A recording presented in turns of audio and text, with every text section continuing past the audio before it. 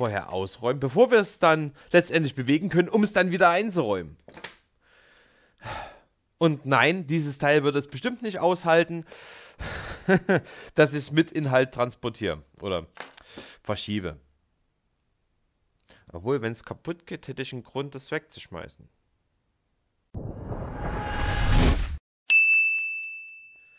Ja, fangen wir erstmal mit Verleimen an.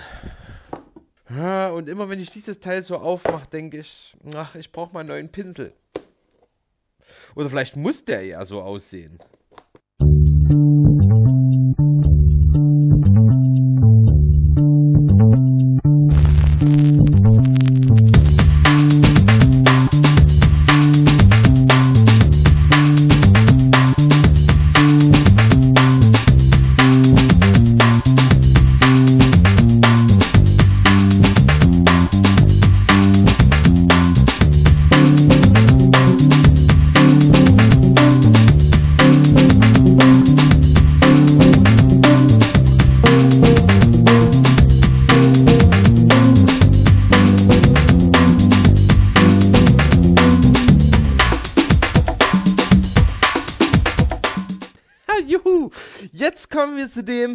Worauf ich mich bei diesem Projekt am meisten gefreut habe. Kauft man mir das gerade ab? Weil zum Teil ist das tatsächlich sogar wahr. Ihr seht schon, dieses Regal, naja, das passt nicht wirklich hier ins Studio. Es ist so das typische IKEA-Regal, was, glaube ich, jeder in seinem Leben mindestens schon einmal gesehen hat. Nicht nur in diesem, ja, Einrichtungshaus an sich, sondern auch bei vielen YouTubern sieht man das ja auch häufig im Hintergrund stehen. Hier ist es bei mir auch. Das hat tatsächlich auch nur den Hintergrund gehabt, dass ich erstmal irgendwie, ja, so ein bisschen Stauraum habe. Aber ihr seht auch, da ist viel Zeug drin, was hier eigentlich gar nicht hingehört. Schallplatten mal hier angefangen, CDs, aber dann findet man auch wieder Leim und Farben, die definitiv hierher gehören. Ja, reden wir nicht lange drum herum. Dieses Ikea-Regal, jetzt habe ich es doch gesagt, dieses, ich habe es glaube ich schon mal gesagt, oder?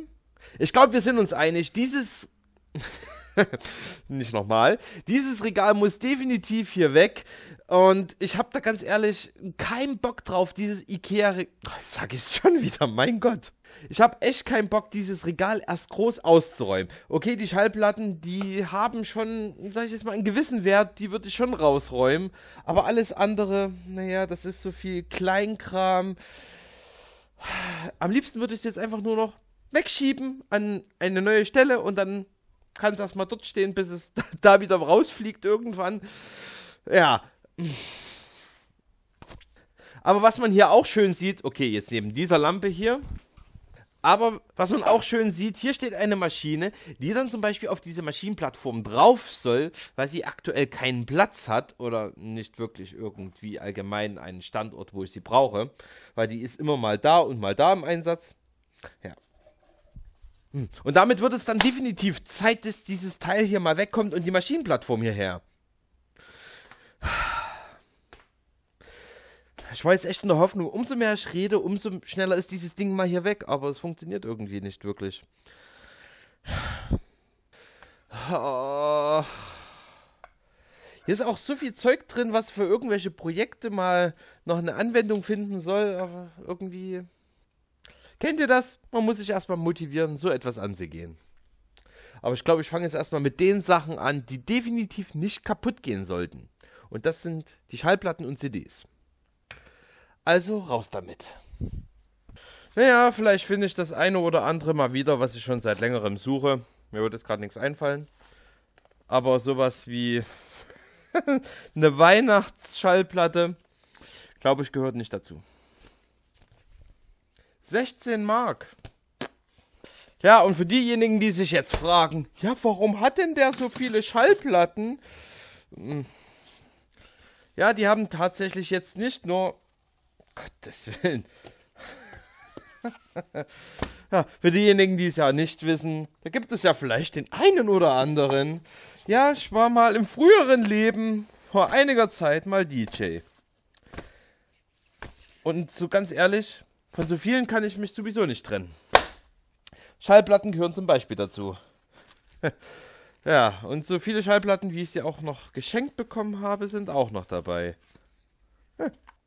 Ich glaube, ich muss echt mal die Turntables wieder auspacken. So viele Schallplatten, wie hier noch original verpackt sind. Oh, ob das Ding jetzt schon leer genug ist, um das Ganze hochzuheben und auf ein Rollbrett zu packen? Naja, vielleicht geht er dann ja leider kaputt. Ja, dann muss ich mich ganz von dem trennen. Das wäre natürlich fatal. Äh, die Autos sollte ich vielleicht trotzdem noch runternehmen. Ach, hier sind die Teile. Die habe ich tatsächlich mal gesucht.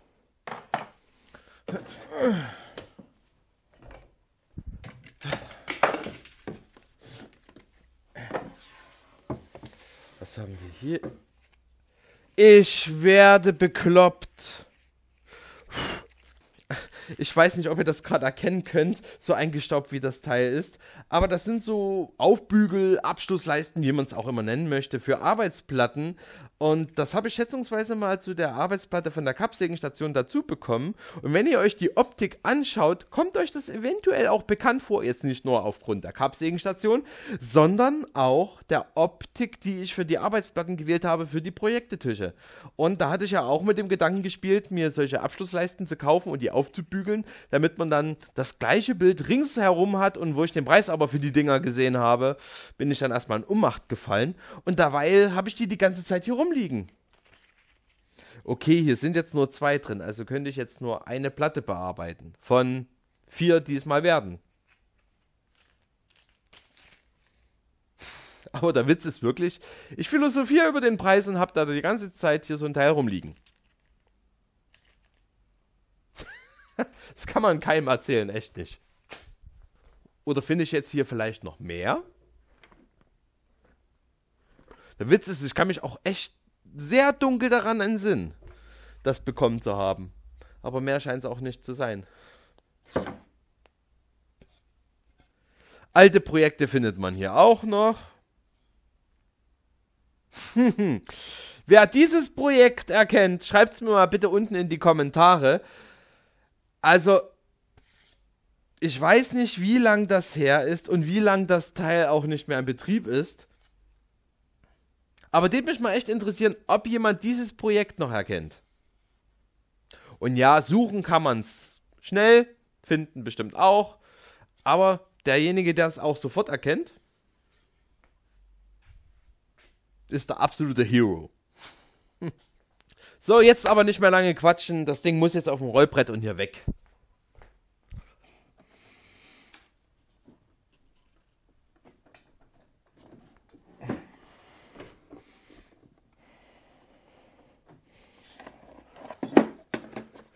Ja, das hat doch wunderbar geklappt.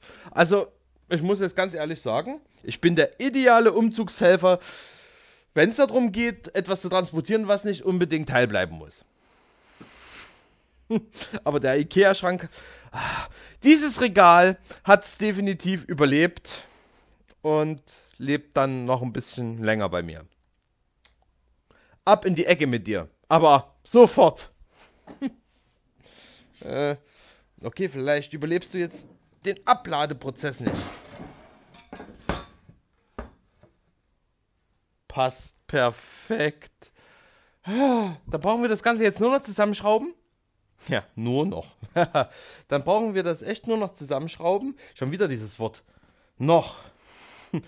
Dann müssen wir das Ganze jetzt zusammenschrauben und dann können wir es hinstellen. Nur noch.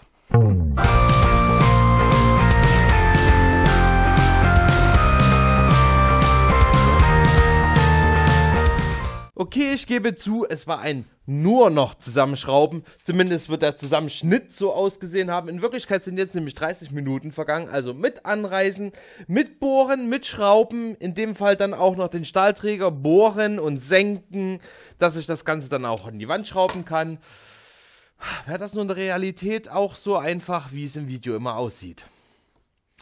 Nichtsdestotrotz, das Teil können wir jetzt hinstellen. Hm. Okay, das Teil ist dann doch äh, äh, leichter als ich dachte. Aber eben auch sperrig. Äh. Rollt davon, meine Projektetische.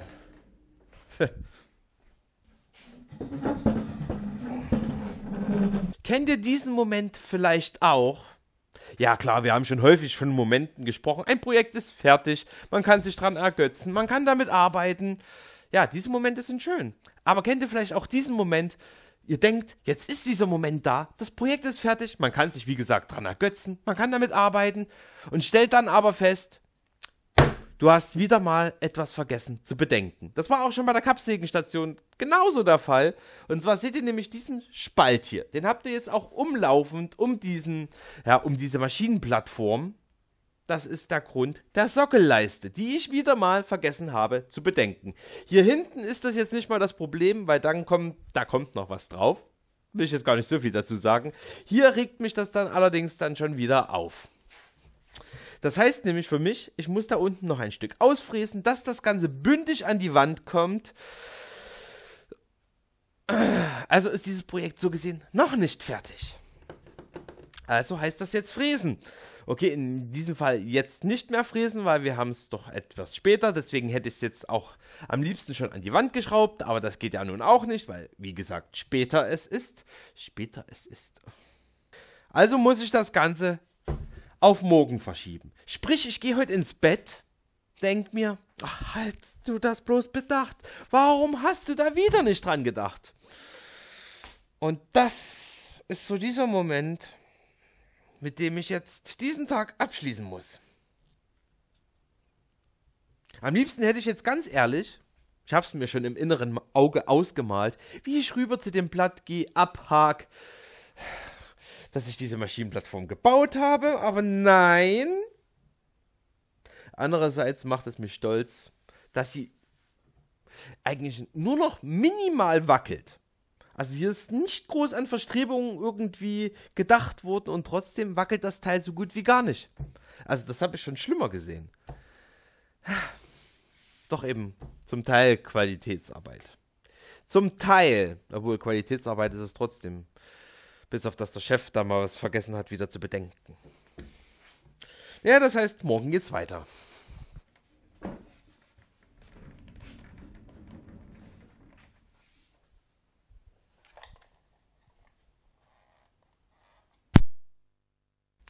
Nächster Tag und frisch ans Werk. Und wie ich es schon prophezeit habe, dieses Problem von gestern hat mich durch die Nacht begleitet und natürlich auch, ja, die Problemlösung dieser Sache. Ich muss ganz ehrlich sagen, ich habe jetzt nicht den mörderischen Bock, das ganze Teil nochmal zu zerlegen und jetzt irgendwie dieses Problem auszumerzen.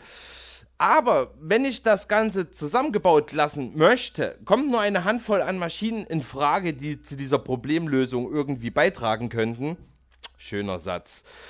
Zum einen Handfräse wäre eine Möglichkeit. Die ist auch glücklicherweise hier, wenn ich wirklich das in Betracht ziehe, weil durch den Umzug sind, naja, ein paar Maschinen auch in der neuen Wohnung.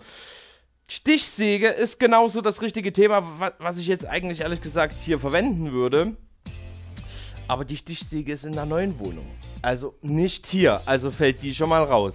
Handfräse, hm, dann so das Ganze ebenerdig abfräsen, ohne die Fräsführung. Die ist nämlich auch in der neuen Wohnung. Ich glaube, ich komme fast nicht drum herum, dieses Teil nochmal zu zerlegen.